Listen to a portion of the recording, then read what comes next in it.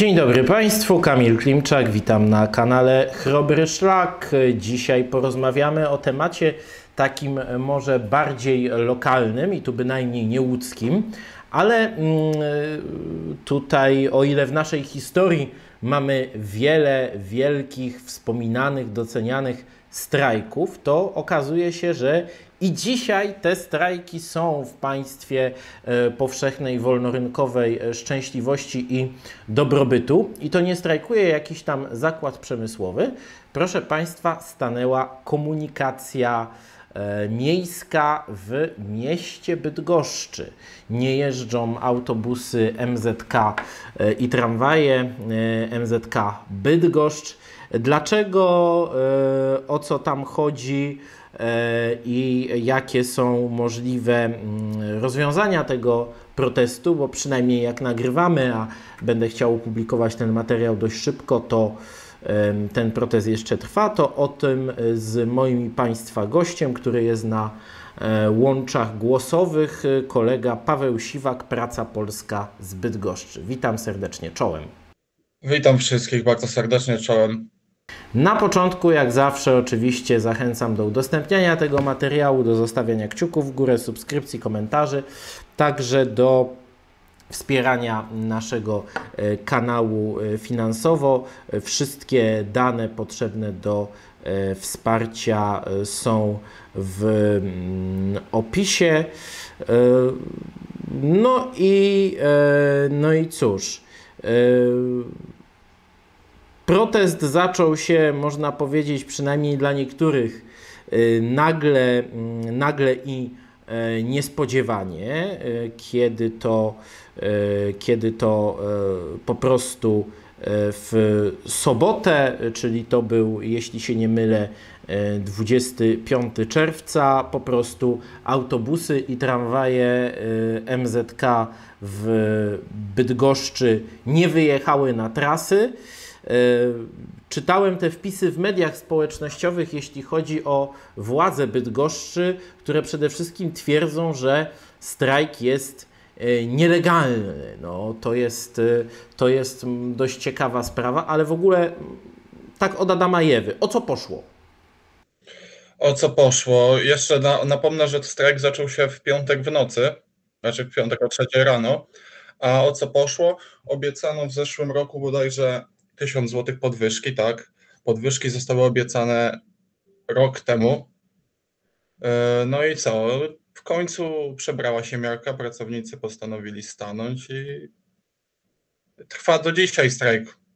I będzie raczej trwał jeszcze, jeszcze, jeszcze e, kilka dni albo nawet tygodni, nie wiadomo, bo pracownicy mówią, że będą tym razem nieugięci. Jeśli będzie trzeba, to będą na kolanach błagać praktycznie o, o to, co im się należy, bo to jest, co się dzieje w naszym mieście, to niestety jest patologia, a prezydent y, raczej, prezydentowi raczej jest na rękę, że spółka będzie upadać.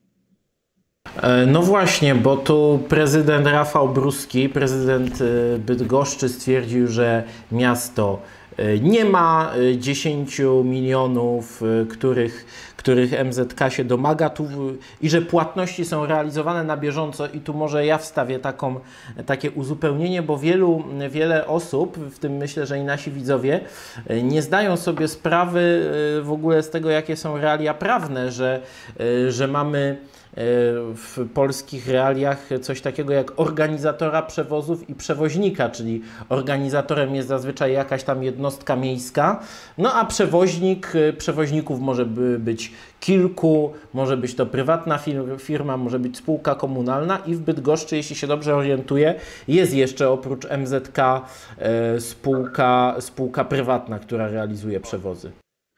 Tak, e, co, jest właśnie, co, co właśnie powiedziałeś, miasto mówi, że nie ma pieniędzy na podwyżki, a teraz jedynym przewoźnikiem, który jeździ po Bydgoszczy, który nie strajkuje, jest przewoźnik prywatny Irex Trans, jeżeli nie przekreśliłem nazwy, ale tak Irex.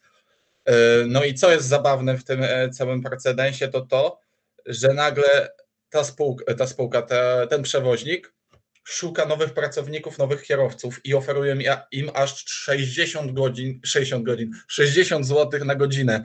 E, normalnie, pod, normalnie jakby to powiedzieć, mogliby, e, miasto mogłoby podpisać nowe umowy z MZK i tyle zaoferować, a nawet mniej, bo jakby prezes, prezes tego Związku Zawodowego Kierowców mówi o tym, że kierowcy MZK mogliby jeździć za 35 na godzinę, a nie 60, jak to oferuje IREX, ale no miasto woli dać pieniądze prywatnemu przewoźnikowi na te przejazdy, przejazdy awaryjne co prawda teraz, no ale przecież y, dlaczego nie mogli tego dać pracownikom MZK, dlaczego nie mogli dać kierowcom MZK, bo też zaraz będę chciał o czymś powiedzieć o etatach, etatach ogólnych, które są jakby w Bydgoszczy też bardzo ciekawy temat administracyjnych, których jest aż za dużo. E, to może jeszcze a propos tej nielegalności strajku, bo bardzo obficie tym argumentem e, szafowały władze bydgoskie, jak to zacząłem, e, zacząłem w weekend śledzić, że strajk jest nielegalny, że wzięto na zakładników mieszkańców miasta. No akurat to sformułowanie o zakładnikach gdzieś tam potem zaczęło znikać, bo chyba się ktoś zorientował, że e, troszeczkę się zagalopował, ale, e, ale jak, to, jak to wygląda? Czy dalej ta nielegalność jest e, podnoszona? No i jak nielegalny, to samo się nasuwa pytanie, czy będzie pacyfikacja. No to, to, to brzmi surrealistycznie w trzeciej RP, ale no, jak wiemy, teorię spiskową od faktów już w naszym kraju dzieli pół roku, więc. No to jeżeli chodzi o tą nielegalność, to nadal jest nadal jest y, uważany za nielegalny, nadal ta nielegalność jest podnoszona. W, pi w, piątek, nie w piątek, tylko w środę pracownicy, e, pracownicy kierowcy MZK byli na sesji Rady Miasta a podczas tej sesji prezydent Rafał Bruski nadal, nadal mówił o tym, że nadal mówił o tym, że jest to strajk nielegalny i że dzienna strata dla spółki to jest niemalże jakieś 400 tysięcy złotych, która może, i, i, która może w wyniku, te kary wszystkie, te kary wszystkie złączone mogą w wyniku doprowadzić do spółkę, spółkę do, do upadłości, tak? No, mi się wydaje, że będzie to ciągnął prezydent Bruski, będzie chciał, będzie chciał to ciągnąć jak najdalej, będzie sprawdzał cierpliwość kierowców i ich dalsze możliwości. No i co? Na rękę mu to, ponieważ będzie mógł swoich koleżków y, z prywatnych spółek w, w końcu w całości obsadzić na wszystkich liniach i wszystkich i wszystkich jakby środkach transportu, włącznie z tramwajami, bo MZK obsługuje część linii autobusowych i wszystkie tramwajowe. No na razie jedynym, y, można powiedzieć, że jeden sukces, y, sukces y, pracownicy MZK odnieśli, bo prezes tej spółki się, się podał do dymisji, no ale cóż, no prezesa nie ma, ale pieniędzy też nie ma i zapowiada się, że no ich, że ich nie będzie. Tutaj zresztą mam przed sobą też analizę z tygodnika bydgoskiego. Tutaj może przeczytam tylko ten lit, który tu jest. Cięcia w budżecie na komunikację miejską, cięcia w rozkładach jazdy, brak jasnej wizji rozwoju transportu publicznego w Bydgoszczy. Paraliż komunikacyjny to efekt wieloletnich zaniedbań w polityce miasta w tym obszarze. Właśnie jak to, jak to wyglądało w poprzednich latach? Czy coś w ogóle zapowiadało, że, że może dojść do takiego wybuchu? Czy, mo, czy mogłoby dojść do takiego wybuchu, to ciężko stwierdzić, ale tak jak mówiłem, no, e, tak jak mówiłem już wcześniej i nawet w, po, na post, w poście e, solidaryzującym się z kierowcami MZK e, napisaliśmy, że prezydent Boruski od lat od lat chce zniszczyć, chce zniszczyć MZK i zastąpić ją w całości prywatnymi przewoźnikami. Chce mieć ten problem z głowy, ponieważ pracownicy MZK już nieraz nieraz e, podnosili, podnosili głos w swojej sprawie.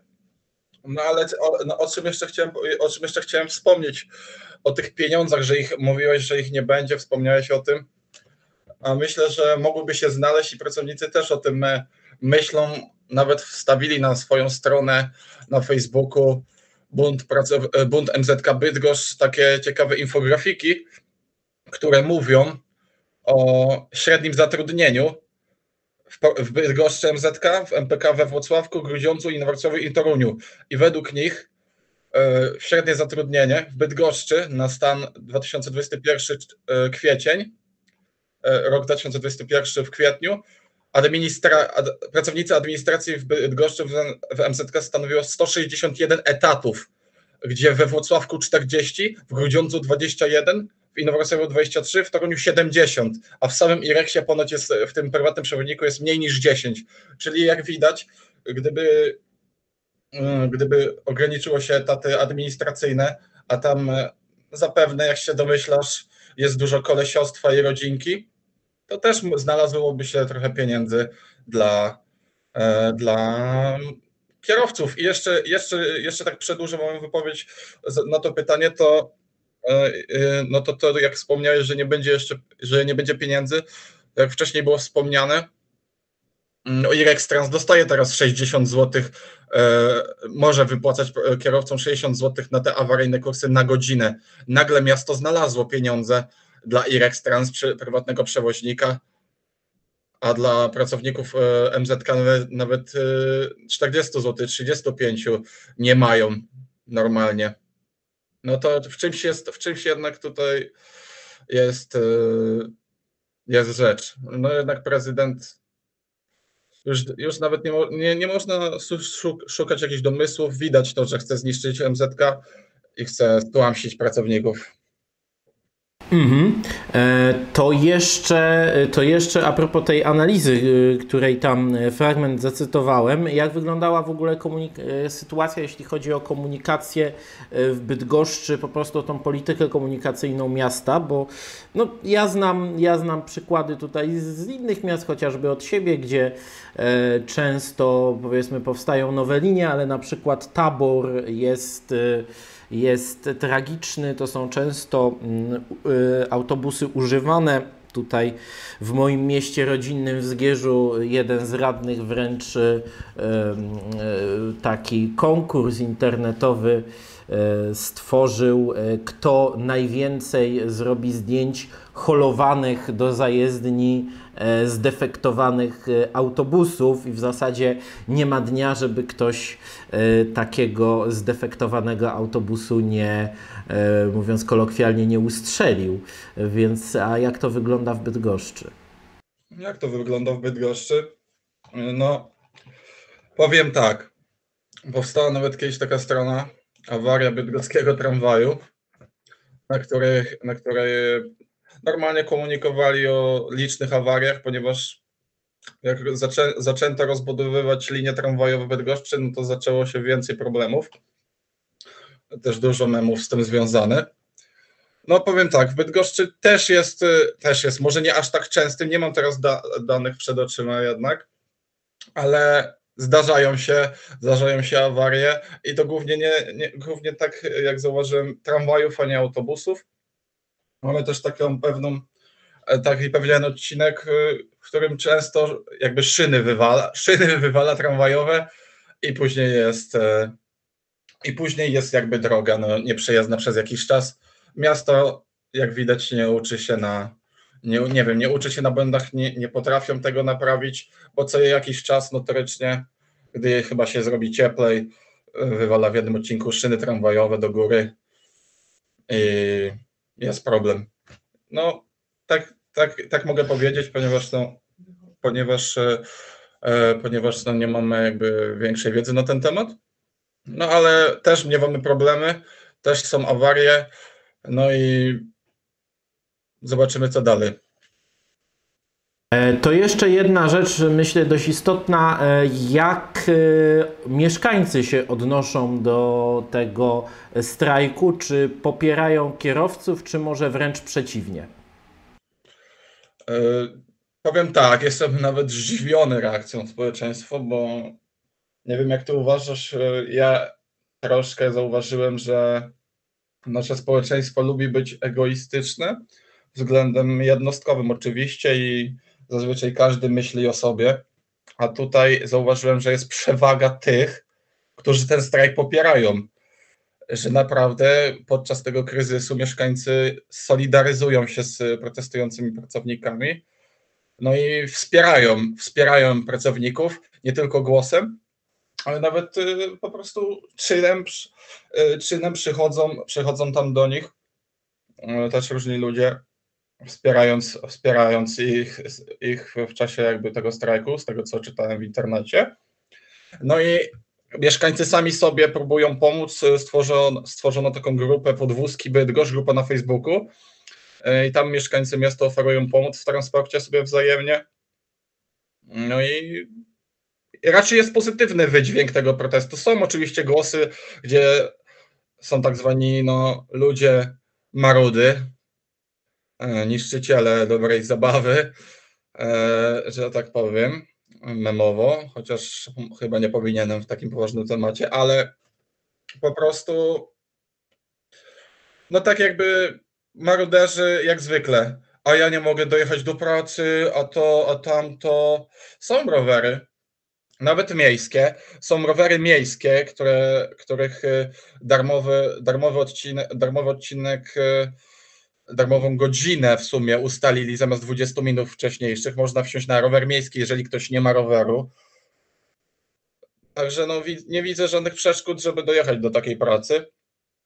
No ale tak jest chyba zawsze, przy każdym proteście, przy każdym strajku znajdą się tym, którzy, ty, ci, którzy jak zwykle mają coś do powiedzenia, jak zwykle oni na pewnie mają najgorzej, i, a kierowcy to nawet pewnie e, są roszczeniowi i w ogóle, bo też takie głosy się znalazły w mediach społecznościowych, że kierowcy są roszczeniowi i nie powinni w ogóle marudzić.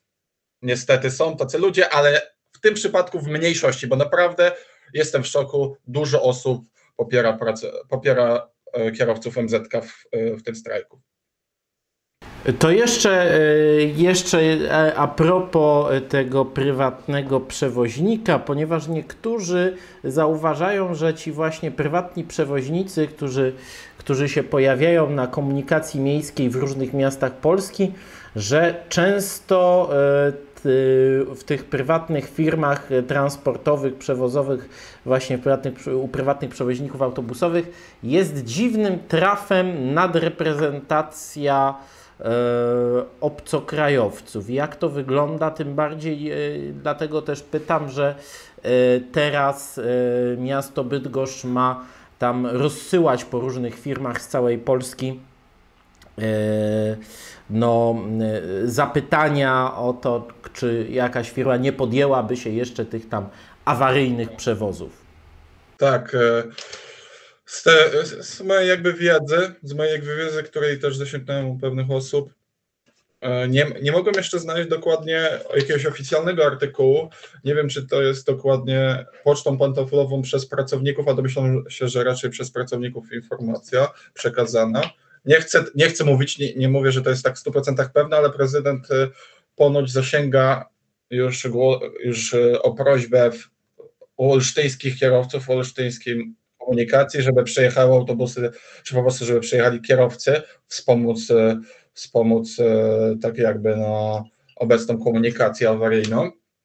A co do, a, a, a co do jeszcze pierwsze, o pierwsze, co wspomniałeś o obcokrajowcach, ciężko stwierdzić, nie, ciężko stwierdzić. Nie za, ja w Bydgoszczy nie zauważyłem e, nad, nad reprezentacji obcokrajowców, przynajmniej na podstawie wyglądu.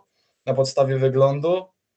E, czy to są, czy, czy są Ukraińcy, czy są jacyś inni e, wschodni sąsiedzi za kierownicą, tego nie wiem, ciężko stwierdzić, ponieważ E, no, nie, rozmawiam z, nie rozmawiam z nimi, ale także no, raczej, no, raczej, raczej nie. Uważam, że w Bydgoszczy akurat jeszcze tego, jeszcze tego jakby problemu, można tak powiedzieć, nie mamy.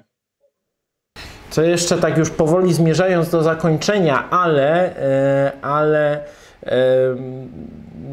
no Tutaj jest, tutaj jest tego rodzaju kwestia, że w wielu miastach, nawet w większości, jest tak, że mimo, że są przetargi na komunikację, to zazwyczaj wygrywa je ta komunalna spółka, jak sam powiedziałeś, jest tam nadmiar administracji, nadmiar różnych etatów, które są prawdopodobnie gdzieś tam rozdawane nie z klucza merytorycznego, a, a z innego. E, tylko e, no, liberałowie by powiedzieli, że najlepiej to sprywatyzować po prostu komunikację miejską i wszyscy będą szczęśliwi i zadowoleni, bo przecież prywatny przewoźnik e, teraz jeździ, a, a MZK stoi. Więc, więc co ty na to?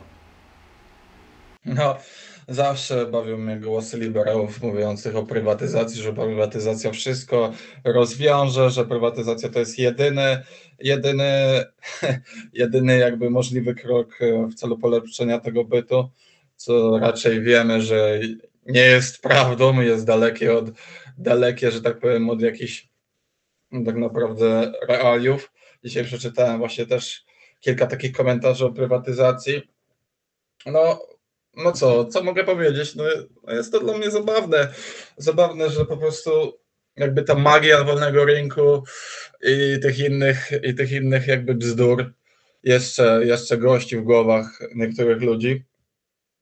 A, przy, a mogę raczej nawet nie tylko przypomnieć, trzeba powiedzieć, że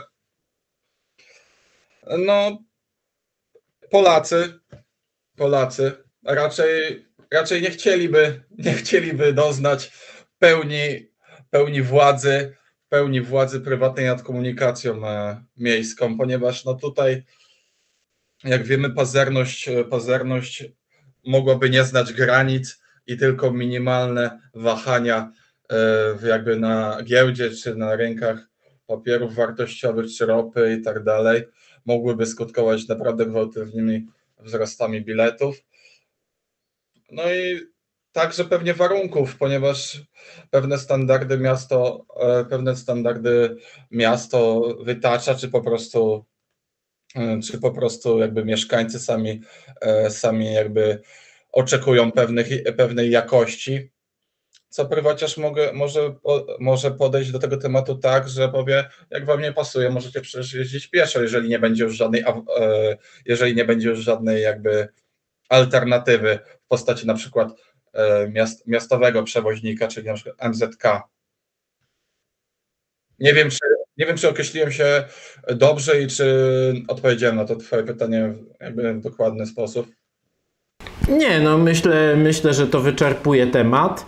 E, więc no cóż, no pozostaje, e, pozostaje nam chyba zakończyć konkluzją, że pracownicy wyglądają na mocno, mocno zdeterminowanych E, I to może jeszcze tylko jedną, jedną rzecz e, bym Cię poprosił o odniesienie się do, na, na sam koniec, bo to jest kwestia, którą nawet związkowcy e, zbyt goszczy podnosili, że Brus, Rafał Bruski i jego partia, czyli Platforma Obywatelska, jeszcze niedawno wspierała groźbę, groźbę tylko, bo przecież nie ten, strajku kontrolerów ruchu lotniczego.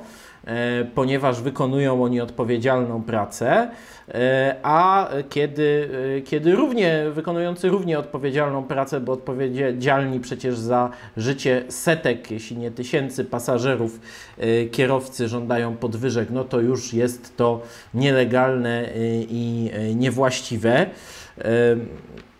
No, kontrolerzy ruchu lotniczego doszli do jakiegoś tam porozumienia i czy, mm, i czy y, grożąc paraliżem przy tym totalnym komunikacyjnym y, na polskim niebie, czy Twoim zdaniem Rafał Bruski jest w stanie y, w końcu pójść tam na jakiś kompromis, czy choćby kosztem kompletnego zniszczenia tych miejskich zakładów komunikacyjnych zdławi ten strajk i, i tą pustkę zapełnią prywatni przewoźnicy? E, powiem tak, powiem tak, to jest teraz e, nawet ciężkie do powiedzenia, a nawet mógłbym powiedzieć, że 50-50, 50-50 pół na pół. E, kwestia, kwestia, tego, kwestia tego, na co będą pozwalały polityczne realia.